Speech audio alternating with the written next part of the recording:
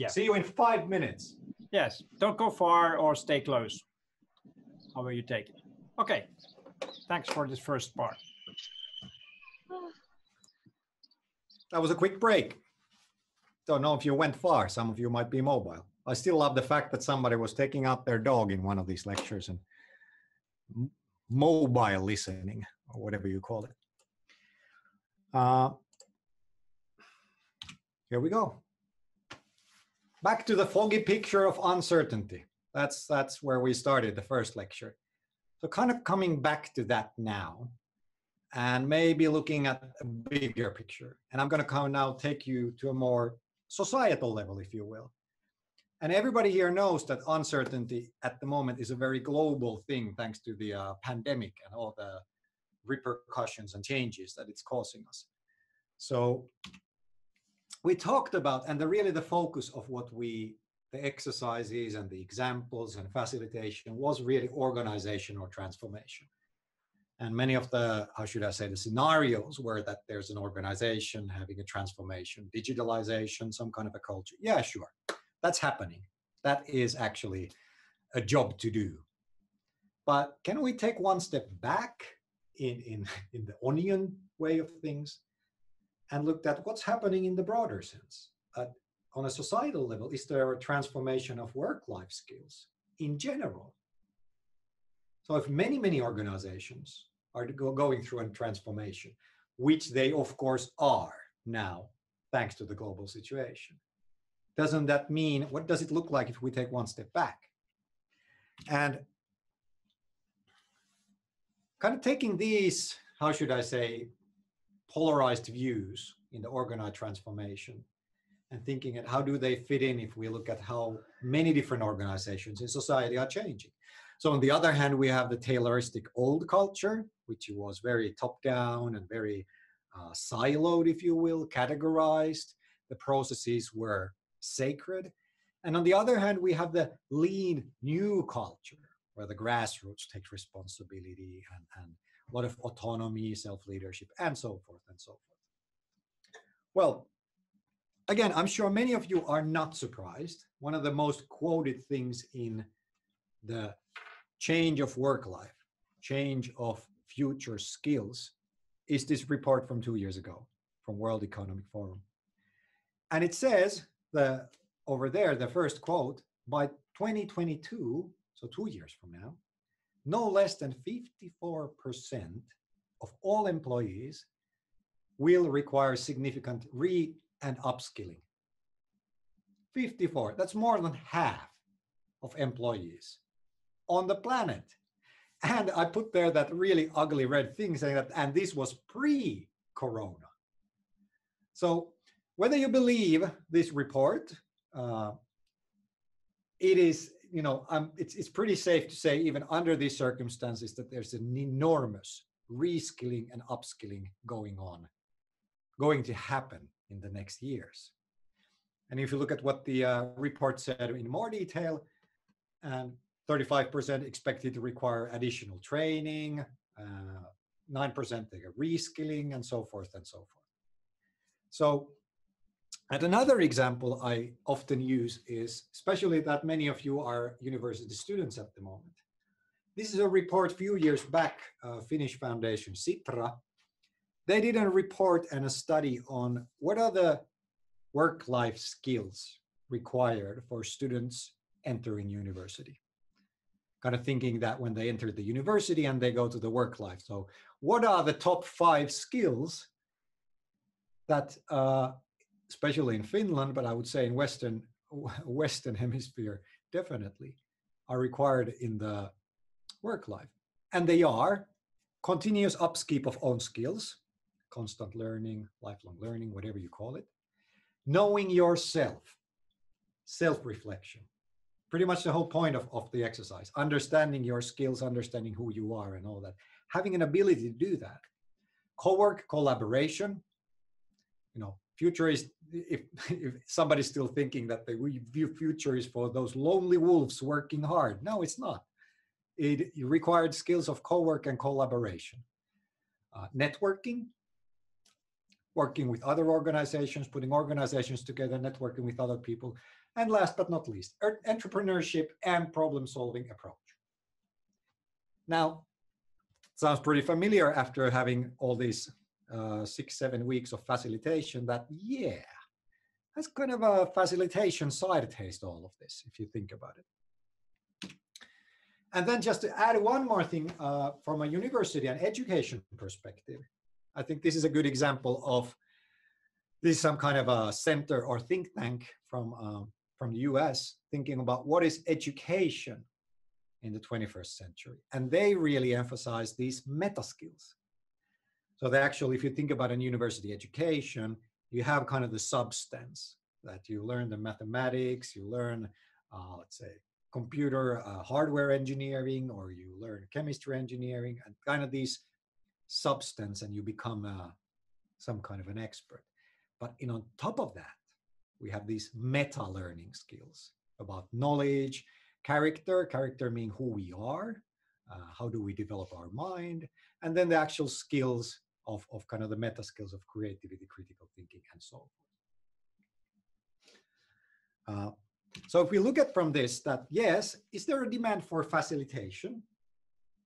Going back and looking at this whole course, that if we're teaching all of this to you, is there actually a demand out there for these kind of skills? I'm pretty sure that everybody here would agree that there is, but is there a, a societal demand facilitation? That it is a bigger thing than one organization. And these digital transformations that many of you are working with, or you know, use as a slogan of, of the change that is happening, or the, the word that is pushing the change. Is it in the big picture actually a huge skills transformation? Because if we believe that people are getting upskilled and reskilled, we need somebody to make the new experts and the old experts kind of work together. Who is going to facilitate this huge transformation? And who's going to help others to see the big, bigger picture and the long term impact of this skills transformation? So, kind of again, bringing forth and, and kind of summarizing and bringing again a couple of things that, that you're already familiar uh, in this what we have been lecturing, but kind of bringing them fresh in your mind. Starting with this dramatic picture, that which is another thing about the, the, the another way of looking at the fog picture is that as we now live in very uncertain times, the future is uncertain for many individuals, many organizations, and in large uh, in large cases, many societies as well. And what we started with in this course was that predictability and Taylorism in uncertain times, no, they just explode. They do not work so well because they're pretty much based on predictability. So if we want to really simplify and summarize that how do we change things in an uncertain environment? What is the kind of, you would just really easily try to explain that, what is the change process in general? whether it's a single project or even smaller single workshop or like a large project or a huge endeavor, it maybe looks something like this. We have a current situation, and on the other hand, we have the desired impact. And because things are uncertain, they're behind the cloud or smoke, there are multiple alternatives. There's not an obvious single solution. That's what unpredictability is about. That's what uncertainty is about that there is probably many ways to do this, but none of them are obvious. And that's why the Taylorism and the old model doesn't work. Now, if we take the simple model and we a little bit go further, we understand that the fact is that as we start working, that impact changes as well. That the initial desired impact that we started with actually, you know, we clarify it a little bit. Uh, something happens and the impact changes to a new desired impact. So it's a moving target as well, the desired impact we are doing. And just again to remind you, if you think about agile working, or if you think about lean startup, or if you think about uncertainty, this is this is the basic scenario that you accept that there are multiple alternative ways, and you also accept that the goal, the objective, is changing as well. And that's why we have all these methods and tools, but that's why we also are building these organization structures. to be able to work in this scenario. Or maybe we're, you know, building societies that are also can work in this scenario as well. But back to the facilitation, if you look at this picture, a couple of things become clear against that old traditional model. There are no clear paths, like I said. But it also means from a skill set, if you think about what kind of work skills we need in an organization, in a team, in a society. In this kind of scenario, it's not that clear. The roles are not clear. The tasks are not predefined as they used to be. And the problem, of course, and the challenge is the objectives shift. They're clarified as we go, as I mentioned. And the other thing that is relatively big when you sit down and think about it is that the actual current situation, wherever you start your small, big, medium sized project, you need to accept that the skills that you require to get this project done, to get this workshop done, to get this transformation done, are very situational and contextual. You do not necessarily know beforehand uh, what are the skills you need to get this project done because you have multiple alternatives and the impact changes. And again, if you put this against a very traditional model, where organization has, we have engineers and marketing people and these people, it is not situational, it's not contextual, it is predefined. These are the skills that we have, and these are the skills that we do need. So to summarize this is another question that does it mean that we to be able to work in a context like this, we need these meta skills. Or you could just, mm, you know, swap facilitation skills. But the meta word I use here, just that these skills are not specific to a certain profession. They're not specific to a certain education. And this is really important when, it, when you talk about skills transformation on a societal level. And again, the skills are seeing the big picture, skill to iterate and clarify objectives, you know, skills to have a continuous dialogue about meanings, ability to bring different skills together, ability to facilitate different experts, and the ability to be reflective for self-leadership, well-being. And uh, this is really the kind of the main point of the skills transformation is that when we are in a very uncertain situation and we are doing a transformation. It really kind of brings forth. They just these things pop up into the surface due to that situation. And it's another way of looking at what we actually made you do. That we firmly believe that these little exercises, these little simple tools, have kind of a counterpart in this major skills transformation and in these meta skills or facilitation skills, or, or you could call them leadership skills. So if you now look back at exercise one and two, they were pretty much about seeing the big picture. Exercise three was actually very much about skills to iterate and clarify objectives. Uh, exercise three was also actually about continuous dialogue about meanings. When you helped and facilitated the other person to tell you, how is this understandable? How is this measurable? And every time you had to explain to the other person, what is your job? Where do you work? You were actually creating shared meanings so you could actually do the exercise. And as you can see, all of the exercises, because they were pair exercises, were more or less training you to you know bring different skills together training you to facilitate different experts to work together and this was of course why we randomly matched you together just that you kind of face this thing that i have no idea who this person is. We need to create shared meanings. Uh, you know i have to totally calibrate the way i'm going to facilitate and, and so forth and so forth. And of course the last one was this your ability for self leadership and well-being.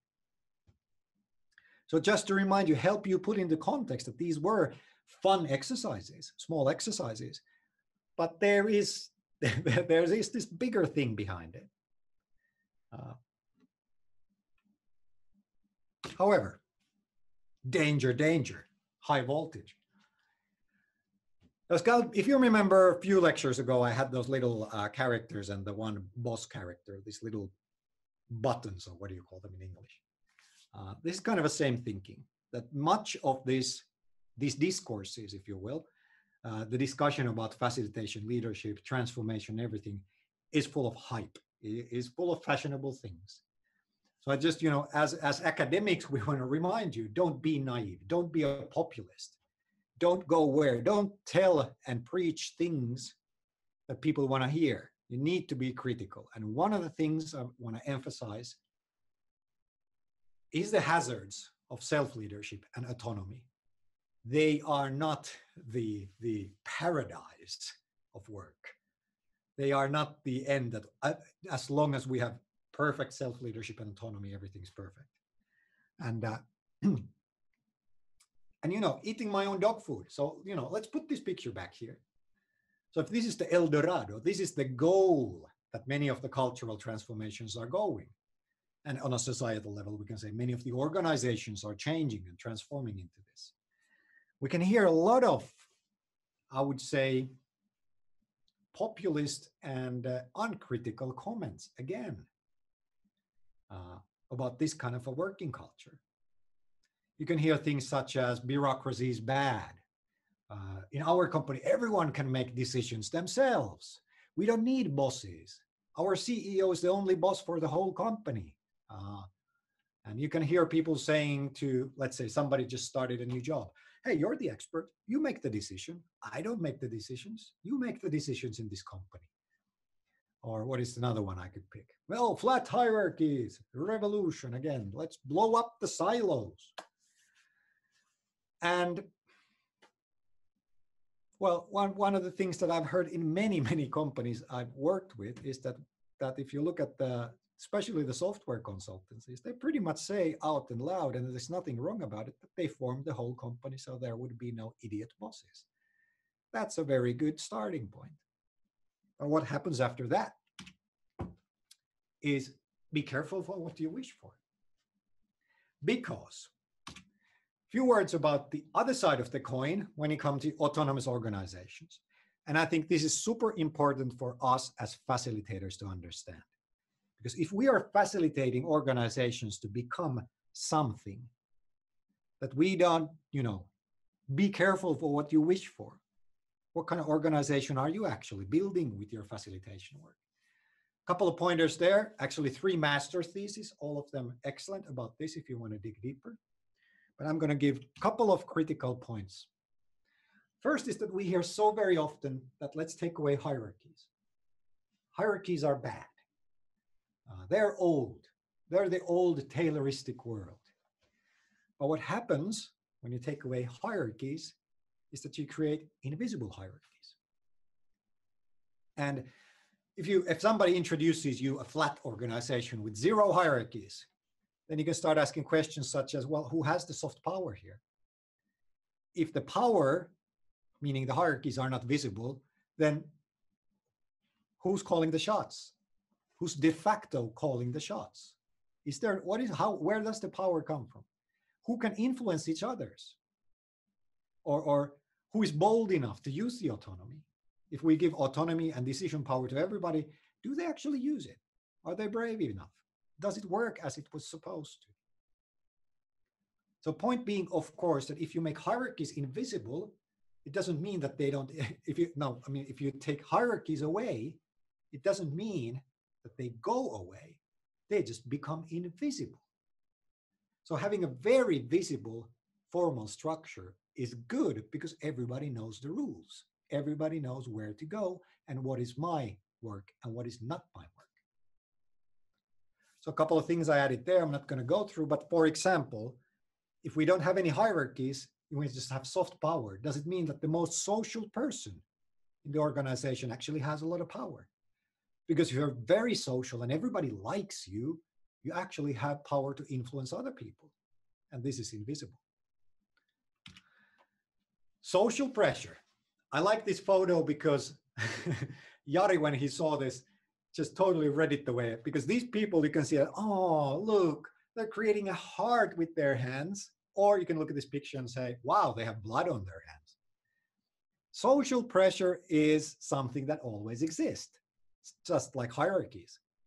And if you just say that you know everybody is equal and, and we have this amazing culture and everybody's a happy person well then i think you are very blind because the question is that what these studies showed when these master thesis workers went to these organizations you start getting questions like well what is normal at our workplace if everybody is autonomous, if everybody's a leader, everybody's a decision maker, everybody's pushing forward, and everybody's just awesome.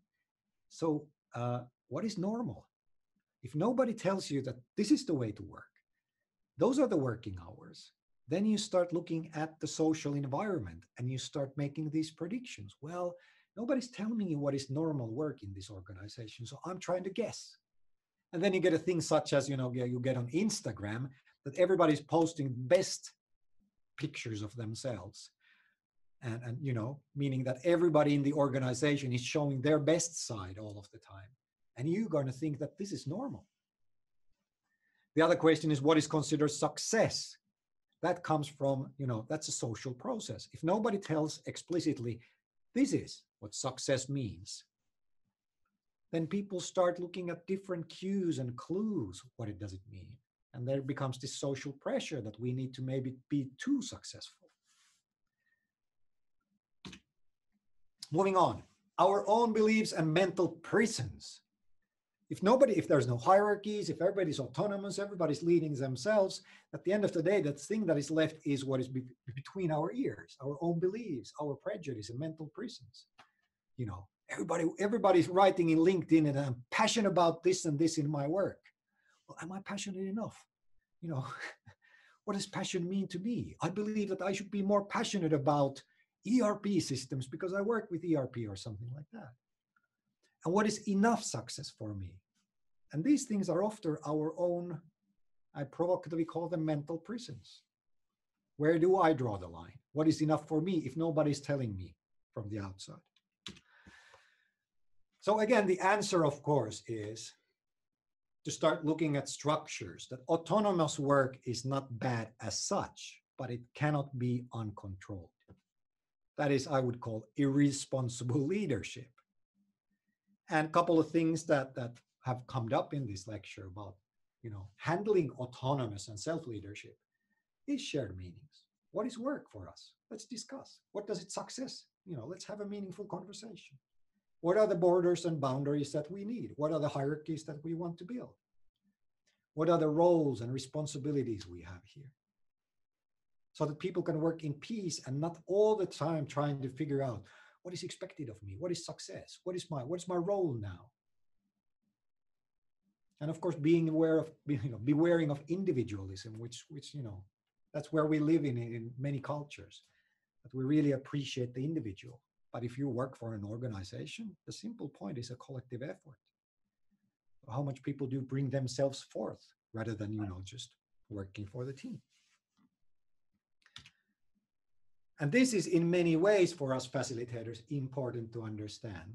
And the number one question is this what I put here. Have you actually sat down and thought that what kind of organization are you creating through your facilitation? if you have years and years and worked for to teams to be autonomous and individuals to have a lot of self-leadership, have you actually sat down and thought that what does the world look like if everything happens precisely like that without you know any critical thinking?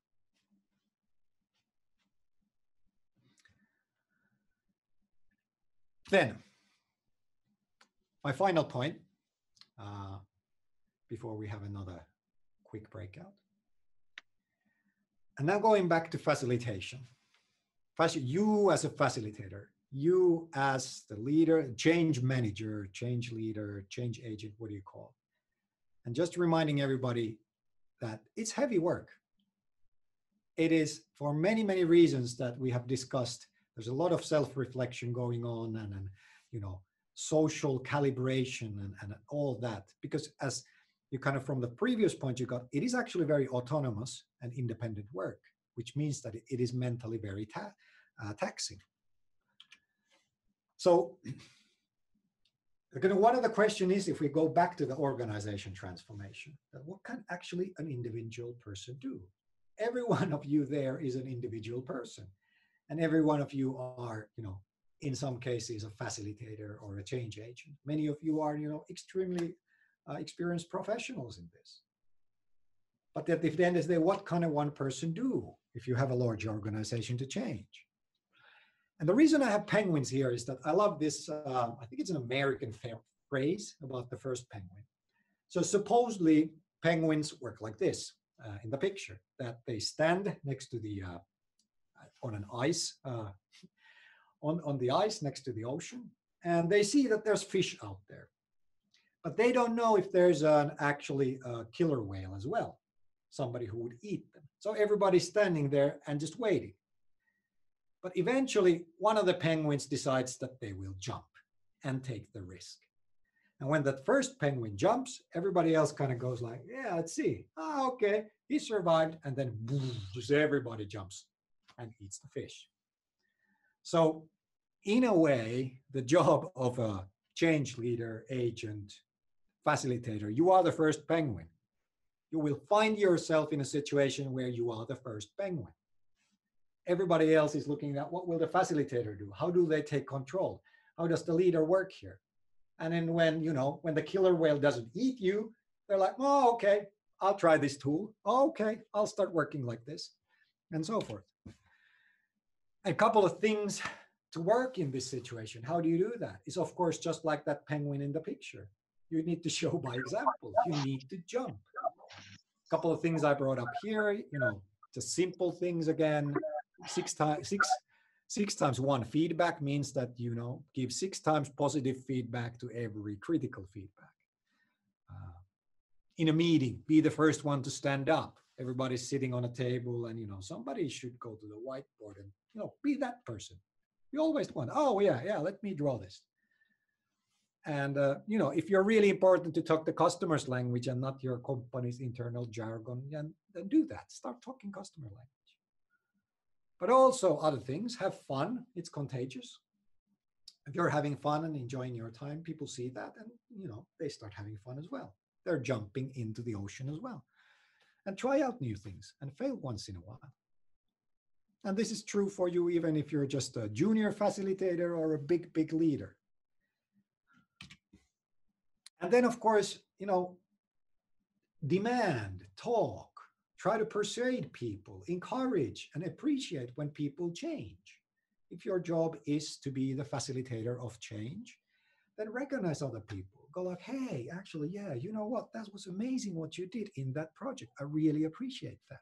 You're doing, you know, what everybody wishes that the whole company is doing. Beware of populism, though.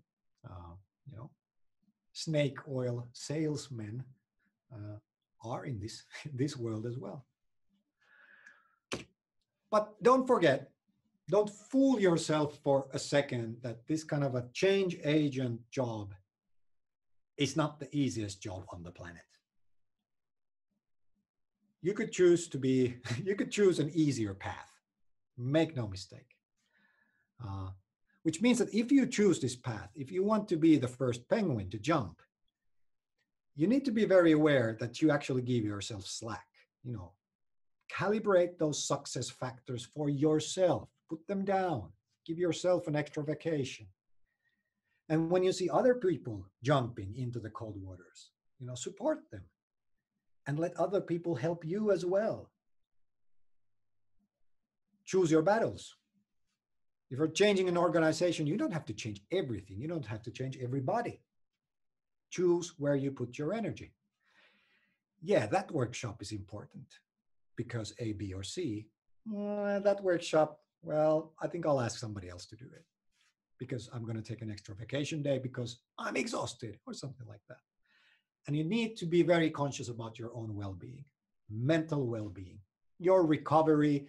Uh, how do you recover from, you know, a week sprint? If any of you have ever done a week sprint where you have been the facilitator running it, that is extremely exhausting to do five days in a row or even two weeks, uh, you need to really start planning your mental well being in those situations. And importantly, again, have fun.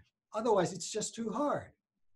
I had an old colleague of mine who was working for a media company here in Finland, and he was kind of hired as a change leader to bring new business ideas and create new business for that media company. And he said, he said it kind of funnily, he said, banging your head against the brick wall hurts.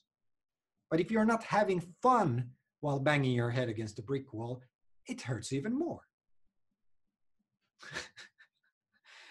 anyway, he had chosen that path. It wasn't the easiest path to go to a large media company and come up with new businesses, but he chose that and was very successful. But he said that you need to have fun. To kind of wrap it up, one person can, of course, change your immediate surroundings. That is doable. Your immediate surroundings might be your team, uh, your colleagues. You can convince them. It's not easy, uh, but it is doable. But make no mistake that when you start, you know, adding layers to the onion, uh, it's not going to be easy. Maybe this is something for, you know, people who haven't really done much of this yet. It sounds very easy and you get these tools, but of course it is not easy. It is very difficult, although often very, very rewarding. And, you know, the rewards could be that you do something for two years and then you decide to quit because nothing happens. And then you meet somebody after the third year and they're like, yeah, now things are happening. So that might be rewarding. So things take time. The larger the transformation, the larger the time that it takes. And and if you may, you know, as a as a 40 plus person and, and working a lot with people who are in their 20s, sometimes I feel that young people they want immediate rewards. They want immediately to see the results and the impact and everything. But if you're going for the long run, you're building a startup or, or working for a large corporation to do change. It doesn't really happen that fast. And you need to be able to understand that these rewards take time. Risto. Yes. Someone is asking during the chat about populism. What do you mean by that? What do I mean by populism? I mean, uh, by populism in this context, I mean simply that telling people what they want to hear and not being critical about it if you see people in an organization who are kind of grumpy, I hate the bosses, I hate the hierarchy, you know, decision making is so slow. A populist would come and tell them, "Hey, you know what? There's a better world. You know, let's let's let's create an organization with no hierarchies and we'll we'll have no bosses at least and and everybody can make decisions and then you can imagine people going, yeah, yeah, hey, that's a great idea. Let's go and form that company. I'm going to quit and we're going to do that company. And at the end of the day, what you end up doing is invisible hierarchies and, and you know decision making based on social pressure and so forth and so forth. And you actually get a lot of problems with people's uh, mental well-being, to put it very blunt. So populism, in all simplicity, means telling people what they want to hear, not really, you know, telling people that well, the world is a bit complex. There's no black and white.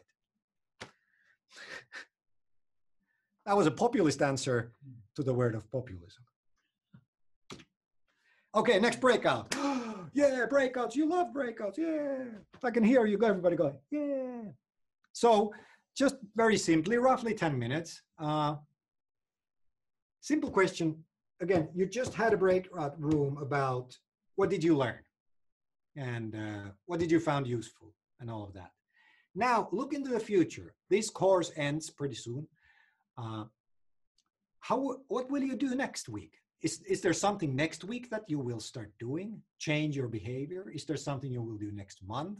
Is there maybe a long-term goal that you know? Yeah, I really started thinking that by Christmas I'm gonna actually, you know, change my behavior this and this way. So roughly 10 minutes. Jari? Larger groups.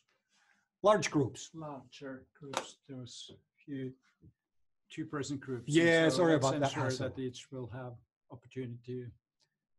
And remember, don't panic about these. Welcome back. No, not yet. I forgot that there's this uh, 10 second. And you have to put the mic on. I put the mic on, yeah. Okay, now everybody's back.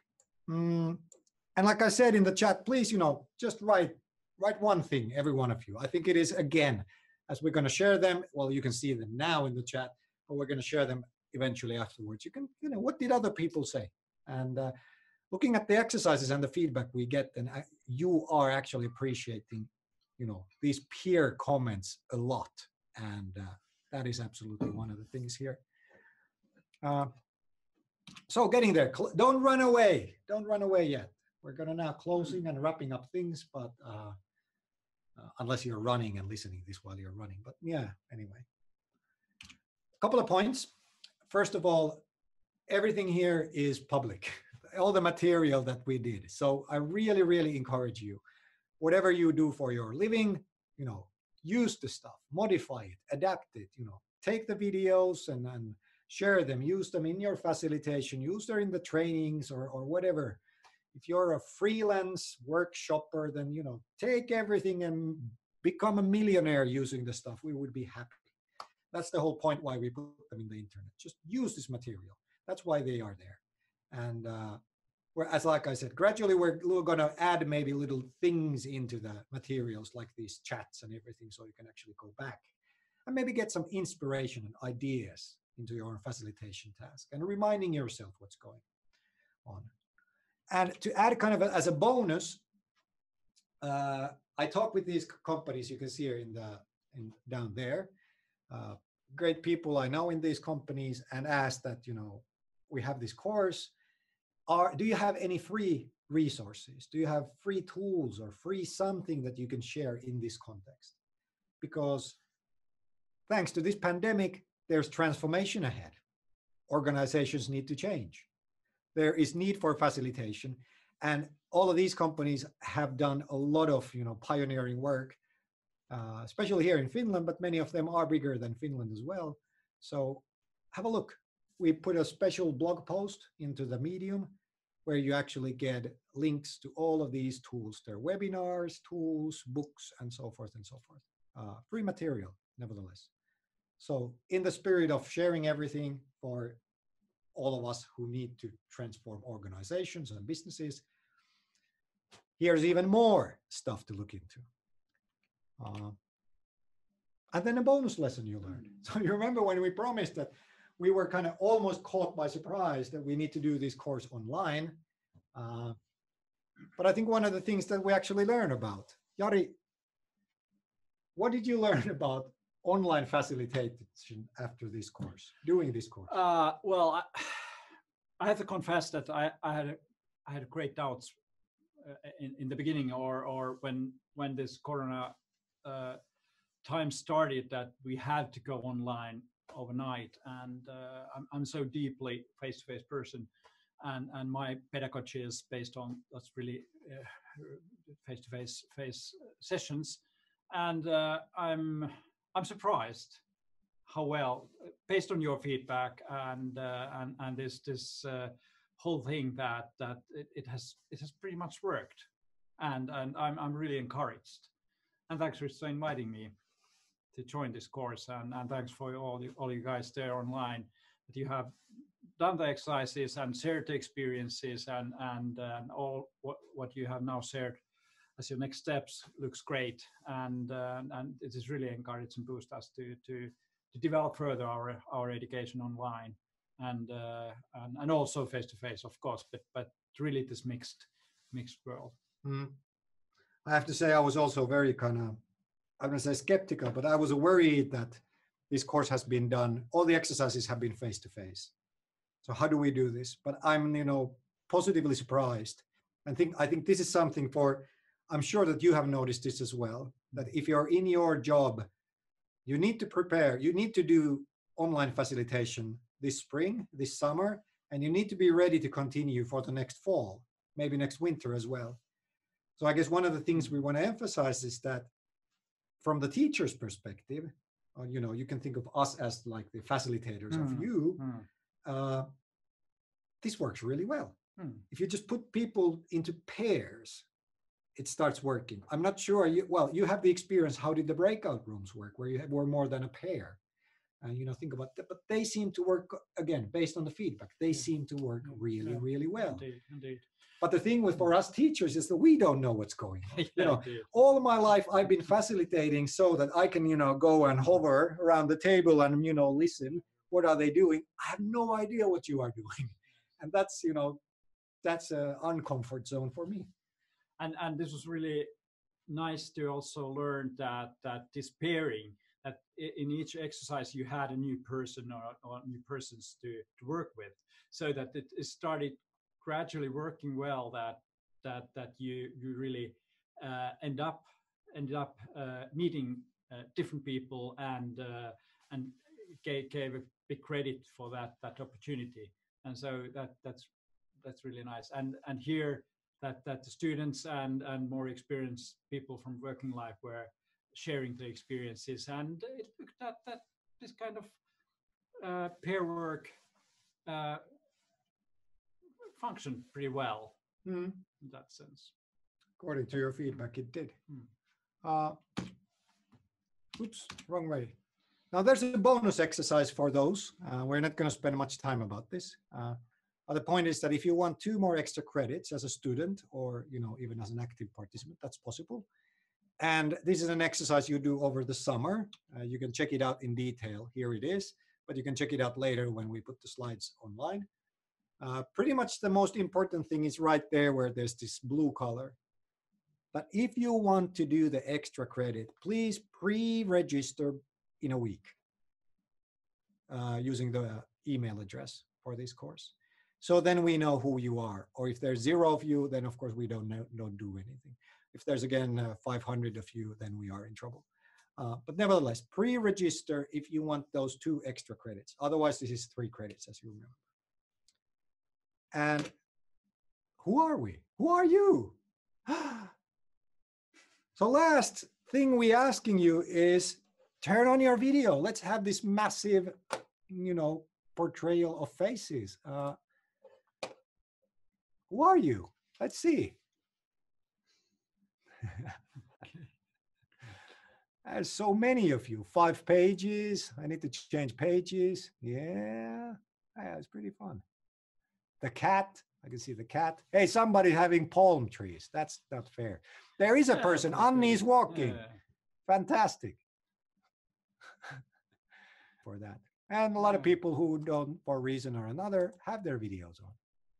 Hey, that was pretty cool. Yeah, indeed There are real people. it's very nice there. to see faces it's great We never knew if you're all bots or not. Uh, nice to see you.